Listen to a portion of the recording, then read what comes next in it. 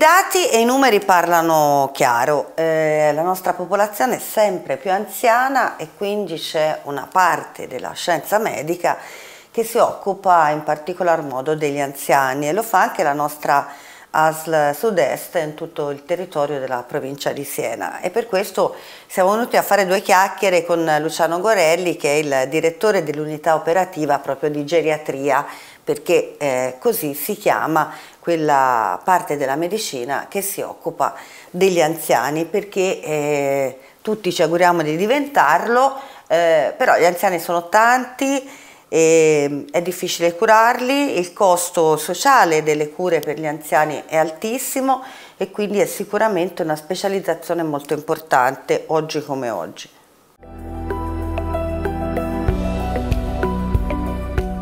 Intanto dottore perché lei quando era studente ha scelto geriatria? C'è un motivo particolare che l'ha spinto ad occuparsi degli anziani? Mm, francamente allora no, devo dire la verità già comunque mi interessava quella che era eh, diciamo la seconda parte della nostra vita, quindi la parte ormai in cui progressivamente si stava iniziando a perdere le nostre capacità, le nostre funzioni, quindi cercare di capire quello che si poteva fare per rallentare il processo diciamo, di invecchiamento, di declino sia fisico che cognitivo. È, una... è difficile no? poi avere a che fare con gli anziani perché quando si invecchia si ritorna bambini e poi non, non la nostra macchina perfetta e meravigliosa che è il corpo umano non funziona più, non funziona più come prima e quindi le difficoltà sono tante e si accavallano patologie su patologie, giusto? Eh, purtroppo sì, purtroppo eh, diciamo, progressivamente l'anziano invecchiando anche fisiologicamente inizia lentamente a perdere le proprie funzioni. Normalmente un anziano completamente autosufficiente ormai viene definito dalla scienza, dalla letteratura, un anziano fit, quindi un anziano completamente ancora autonomo. Progressivamente però inizia a diventare un paziente infit, cioè un paziente che inizia ad avere delle defianze, eh, ad esempio iniziano a comparire varie patologie, quali la più comune l'ipertensione arteriosa, può comparire il diabete, possono comparire processi come l'aterosclerosi. E questi lentamente nel corso degli anni diventano una serie di comorbilità che determinano un peggioramento progressivo della propria autonomia del paziente fino a far definire il paziente in terminologia geriatrica fraile, cioè un paziente francamente fragile è un paziente che in questo caso ha una eh, diciamo, prospettiva di qualità di vita entro un anno del 40% di andare incontro a morte. Quindi è un paziente che noi diciamo, dal punto di vista sociale diventa un impegno, sociale e sanitario diventa un impegno molto importante per quanto riguarda la nostra disciplina. Ecco. Allora, la nostra eh, ASLA e quindi la nostra salute pubblica in che modo sul territorio eh, lavora e si fa carico degli anziani? Allora, noi eh, siamo distribuiti capillarmente eh, a livello territoriale con vari ambulatori, ad esempio per quanto riguarda la mia unità operativa che eh, comprende la ex eh, USLE 7, quindi eh, l'area senese, l'area della Valdelsa, l'area valdichiana Amiata, è distribuita eh, capillarmente sui vari territori, seguiamo sia ambulatorialmente che domiciliarmente il paziente anziano, siamo integrati con quelli che sono i servizi eh, sociali e i servizi sanitari territoriali, quindi le infermiere del distretto, infermieri che vengono a domicilio, fanno le varie prestazioni, quindi prelievi, medicazioni delle ferite, ad esempio gestione del catetere vescicale, gestione del sondino nasogastrico, nonché, ripeto, con i servizi sociali affinché di mettere in atto tutte quelle procedure che possono servire per aiutare il paziente, quindi i vari ausili, ad esempio inserimento in centri diurni per dare un aiuto, un supporto alla famiglia, fino a poi arrivare alle condizioni purtroppo più drastiche, quella dell'inserimento in RSA quando il supporto familiare viene meno. Allora, quanti sono eh, gli anziani, più o meno il numero degli anziani in tutta la nostra provincia? Allora, consideriamo che la nostra USL è la uh, USL più vecchia della Toscana. In media la nostra popolazione della ASL è di circa 850.000 pazienti, di questi il 5% sono over 85 e circa il 27% sono over 65. Quindi una popolazione molto molto marcata. Avete quindi tanto da lavorare. Sì, sì. Allora, e invece quanti sono gli anziani che vengono poi seguiti a domicilio? Eh, L'anziani in collaborazione col medico di medicina generale sul territorio della ex USLE 7, quindi Siena, come dicevo, le altre eh, territori, quindi la Valdelsa e la Val di Chiana, si parla in media di 500-600 persone che vengono seguite costantemente. Poi ci sono quelli che si fanno degli accessi occasionali, e esistono eh, anziani soli che quindi sì. hanno bisogno, lei parlava prima di servizi sociali, quanti sono? È un fenomeno preoccupante oppure no? Eh, purtroppo gli anziani che eh, ricorrono ad esempio all'ausilio di assistenze domiciliari tipo badanti eccetera sono sempre di più perché la società oggi richiede un maggiore impegno da parte dei familiari e quindi spesso e volentieri questi soggetti vengono, non dico abbandonati, però eh, sono un pochino lasciati a se stessi. Francamente ora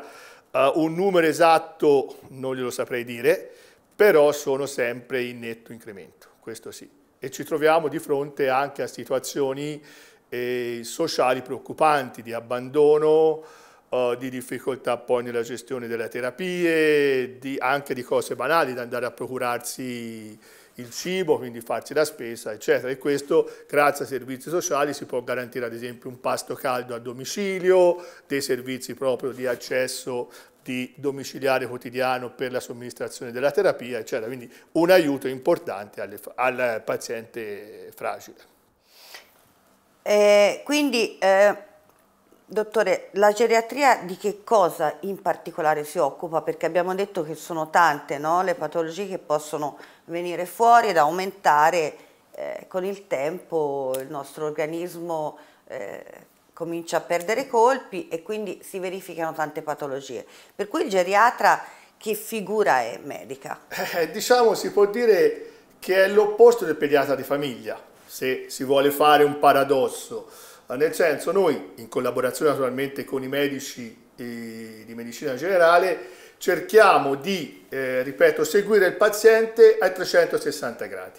Ora, in più noi siamo centro di riferimento per disturbi cognitivi e demenze, quindi ci occupiamo inoltre della patologia proprio tipica dell'anziano che è anche l'involuzione cerebrale con demenza e disturbi del comportamento.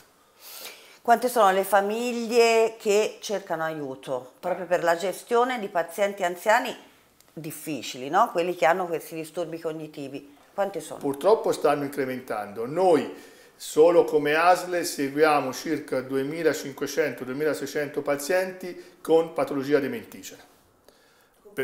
dementigena.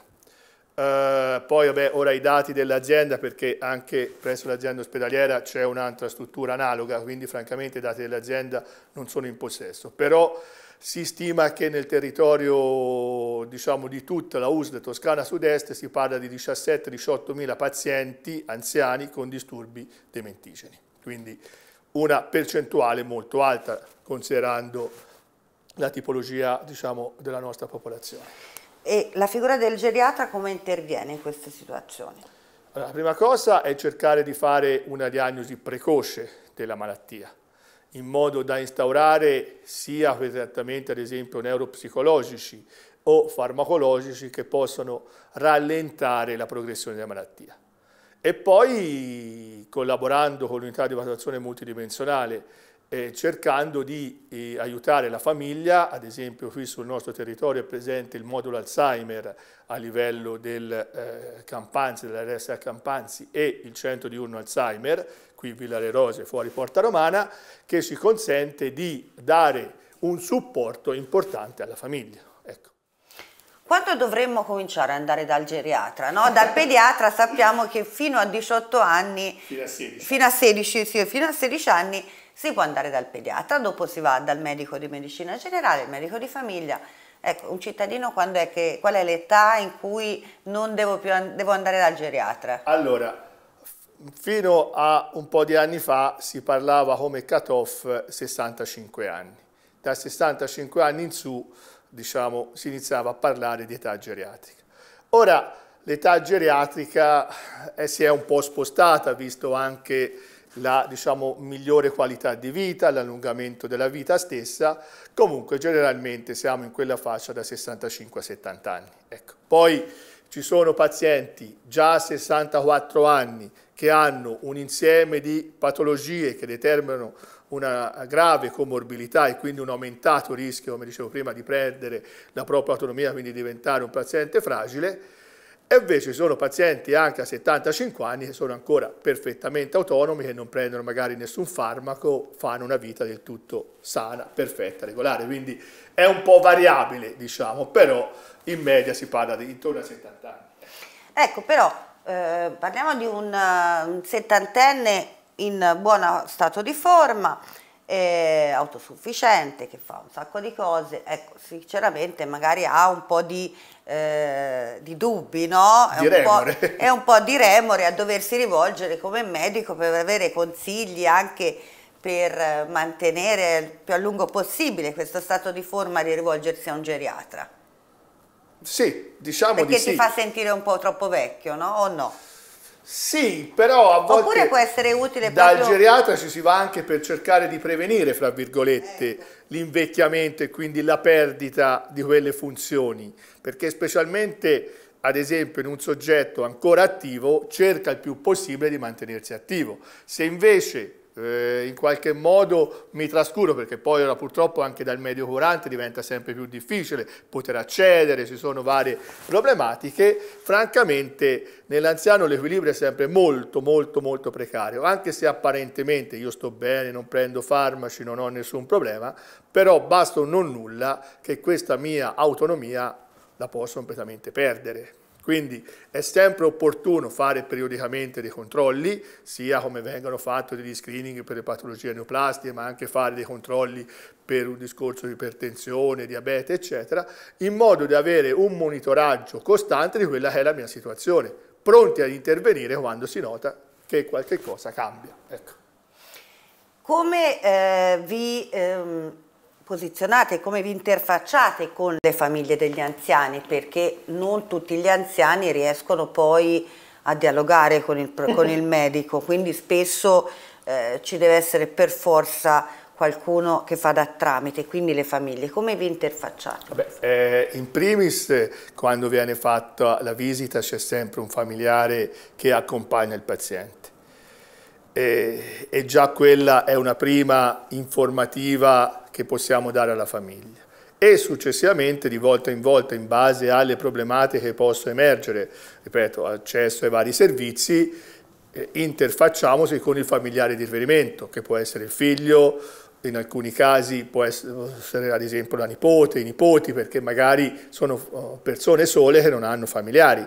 In questi casi a volte la legge ci consente di nominare un amministratore di sostegno, che viene nominato dal giudice tutelare, in modo da poter seguire tutto il percorso assistenziale del paziente eh, durante tutto il decorso della malattia. Ho una curiosità, dottore, ma insomma ci sono persone che mm, hanno una certa età, che però stanno bene, ma vengono qua per prevenzione. Sono più uomini o donne? Normalmente sono più uomini, perché la vita media dell'uomo è più breve, eh, l'uomo con più facilità rispetto a una donna può avere più rapidamente la perdita delle proprie funzioni e quindi al momento posso dire che sono più uomini. Le donne sì, mh, mm, ci sono ma in nettissima minoranza. Secondo le sue previsioni, lei quindi ha il polso della situazione di un intero territorio, sì. che è la provincia di Siena, che seppur non enorme, è sufficientemente grande per darci un'idea. Eh, secondo le sue proiezioni e previsioni, eh, che cosa potrà succedere nel giro di dieci anni a questo territorio? Quanti anziani avremo a carico e quali potranno essere i costi e quindi l'impegno anche del personale dedicato a questo settore particolare? Allora, sicuramente il numero di anziani sta crescendo, ormai anche la nostra USL per alcuni anni siamo a crescita zero, anzi a crescita negativa. Quindi soprattutto nel nostro territorio, un territorio diciamo, prevalentemente rurale, scarsamente industrializzato, favorisce che la figura del giovane, quindi delle famiglie che hanno necessità di lavoro, possa spostarsi in altri territori anche della regione. Quindi l'aumento della popolazione anziana sarà sempre maggiore e i costi purtroppo saranno sempre maggiori perché eh, ci sarà sempre più posto nelle residenze, sempre più posto ad esempio per i centri diurni, che è un ottimo sfogo per la famiglia perché il centro diurno mi consente di avere una gestione del paziente anziano parzialmente autosufficiente per gran parte della giornata. Quindi il figlio, la, la figlia che lavorano possono diciamo, inserire il proprio familiare al centro diurno dove viene eh, mantenuto attivo sia tramite processi di neurostimolazione, sia tramite processi riabilitativi di fisioterapia, inoltre vabbè, viene somministrata da tutta la terapia, eccetera, e poi la sera nel tardo pomeriggio 18-19 torna al proprio domicilio con il supporto familiare e sta lì tranquillamente a casa. Queste sono strutture che ci consentono, naturalmente, ripeto, di garantire e di dare un buon supporto alle famiglie e purtroppo ci sarà sempre più bisogno di queste strutture. Già ora i posti sono purtroppo molto molto pochi per la richiesta. Ci sono delle lunghe liste d'attesa, come eh, inevitabilmente ci sono lunghe liste d'attesa per l'inserimento del paziente in RSA. Questo purtroppo è, è una condizione, infatti, so di numerosi pazienti sono costretti ad andare addirittura anche fuori regione per poter inserire il proprio familiare in una RSA. Esiste, eh, la scienza ha fatto grandi passi, no? passi da gigante, quindi ovviamente eh, la, la, qualità della vita e la vita si è allungata notevolmente, ma eh, siamo mai scivolati nell'accanimento terapeutico su un anziano? Ma direi di no, direi di no. Ormai c'è anche consapevolezza da parte delle famiglie che eh, fino a un certo punto la scienza può arrivare e dopo purtroppo bisogna fermarsi.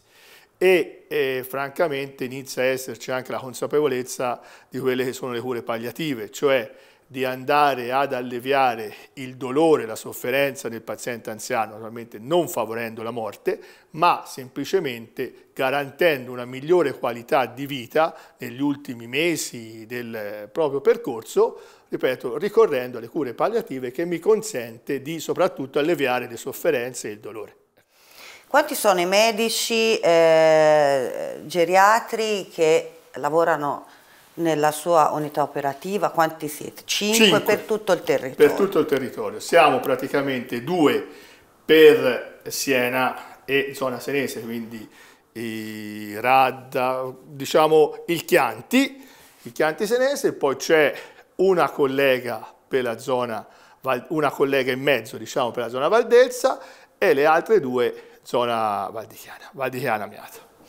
Un'ultima cosa, le chiedo dottore, eh, in favore di chi ci segue da casa, per le famiglie, che per chi ha qualche anziano, per gli anziani stessi, quali sono i primi segnali da tenere eh, sotto controllo, i primi segnali dei quali dobbiamo accorgerci per capire se c'è qualcosa che non va e quindi rivolgersi poi a un geriatra, magari anche tramite al proprio medico sì, di famiglia. Allora, il primo, per, il primo movens è sempre rivolgersi al proprio medico curante. Questo è il primo punto, il medico curante conosce tutta la storia, sa tutto il percorso delle varie patologie, di quello che ha fatto nel corso degli anni il paziente. E diciamo va sempre messo in rilievo la comparsa di iniziali deficit che possono essere della sfera cognitiva, tipo attenzione, linguaggio, memoria a breve termine, e della sfera funzionale, cioè la mia ridotta capacità di fare delle cose anche relativamente semplici che fino a una settimana, dieci giorni fa, facevo senza nessun problema. Questo è il primo movens e mi deve far spingere me come paziente o i miei familiari che si accorgono di questi iniziali deficit a parlare col medico curante e poi da lì inizierà tutto il percorso di, diciamo, di presa in carico del paziente anziano.